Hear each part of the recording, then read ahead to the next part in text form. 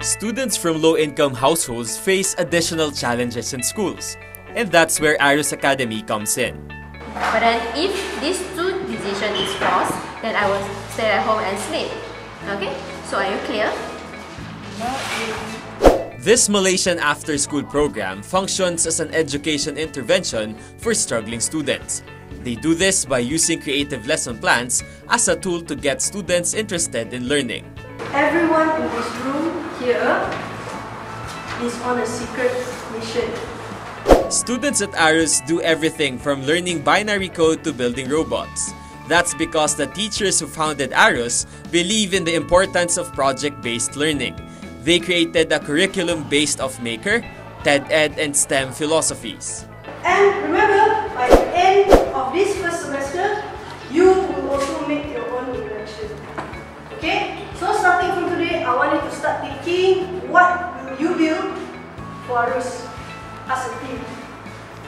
I like the fact that students in Arus get to do really cool things and also they get to learn by making things.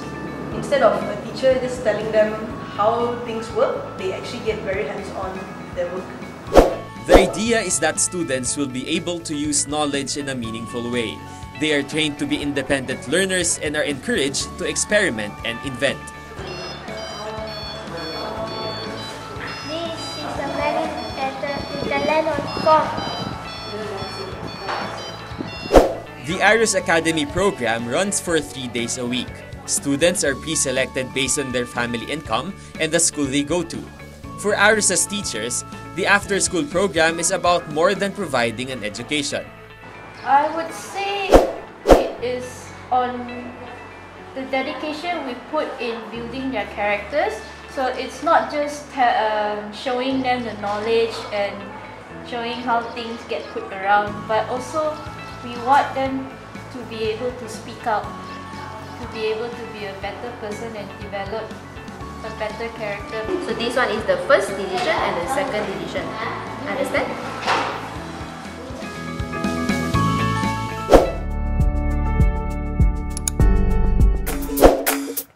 Now, how do you get children interested in the environment? If you're EcoFunGo ASEAN, you try using a life-size board game and a giant dice.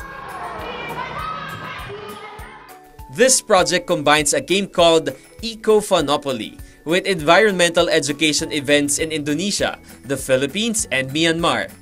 The idea is that by teaching kids about environmental issues, they will adopt green habits in the future. The mission of this game is we want to make the player memorize their daily activities, especially for small things, so then they can uh, change their behavior in the future. Only play with the children, but we also have to ensure that we spread our mission to take care of our environment. Over 4,000 board games were produced in the last century. However, only 10% had an environmental education theme, and none of those were made in Southeast Asia. Until Anissa created her game. She made two versions, one that focuses on carbon footprint and one that focuses on waste management. So who's the winner of Eco Monopoly? So the winner is the player who has no carbon at all. It means they have finished all of the carbon, put it in the tree. The carbon is like a pieces. It's uh, like a money in Monopoly, but we use carbon, not money. Eco Funopoly practices what it preaches. The game is made of recycled materials by unemployed housewives in Indonesia. It's already gained traction as a learning tool in Indonesia, as well as a group of dedicated volunteers who help put on events. So excited for me to join this community because I love to play with and we have to share our vision uh, to take